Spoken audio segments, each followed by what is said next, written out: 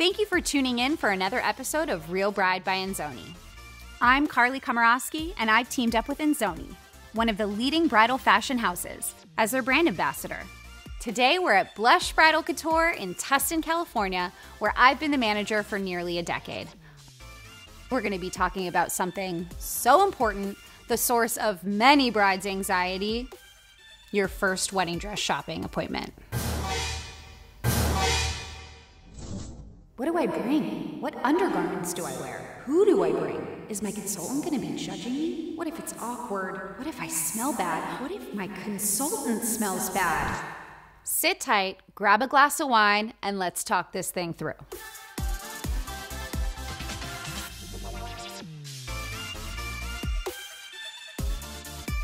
First of all, release any expectations that you have about your appointment.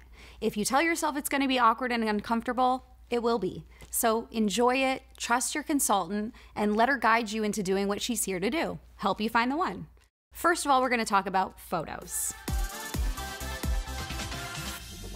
Photos are so important for your consultant. I don't care what you're showing me, show me something. I don't care if it's a bunch of pictures of dresses that you hate, some things that you like, a neckline you're obsessed with, a back that you love. It doesn't matter, but it's so useful to us to pinpoint kind of your visual aesthetic just to pick that first round of dresses.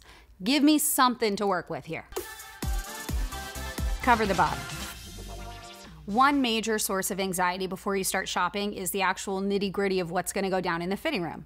The consultant is gonna be in there with you. So wear underwear you're comfortable in front of a stranger in. If that means Full coverage panties, go that route. If you don't want me to see a naked butt, cover it up.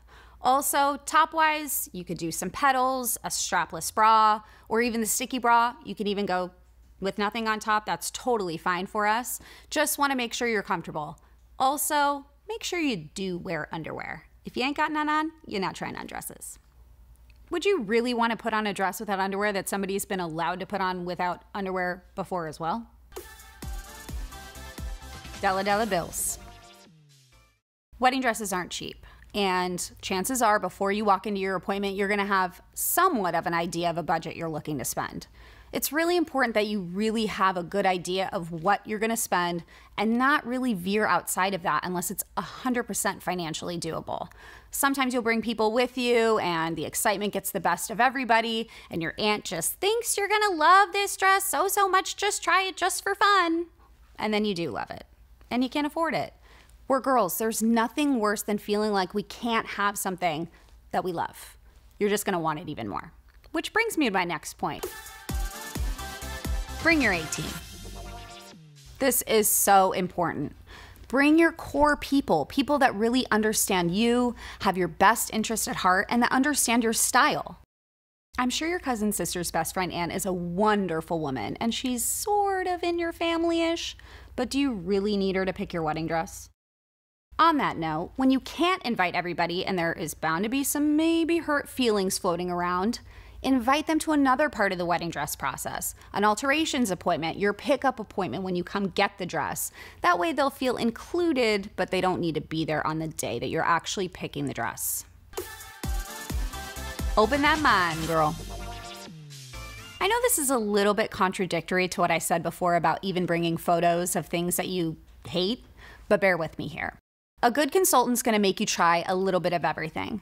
Say you don't want strapless, I get it, I hear you, put one on anyway. You might end up loving it. You really don't know what you're gonna like until you see it on your body. So just go into your appointment with an open mind, try a little bit of everything. You'd be shocked at how many people end up picking the dress that they swore up and down they were gonna hate.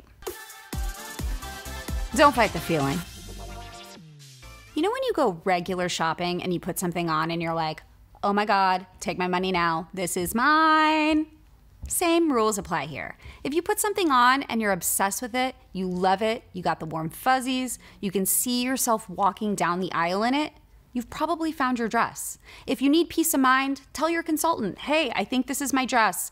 Maybe can we pull a few others just to be sure? But don't miss your perfect dress when it's staring back at you in the mirror. Go on with your bad self. Have fun at your appointment. Try to relax and enjoy the process as best you can. Also, when you found it, be done. The right dress will feel like the right dress. There'll be no buts about it. Thank you for watching another episode of Real Bride by Enzoani. Make sure you subscribe, like, and comment below.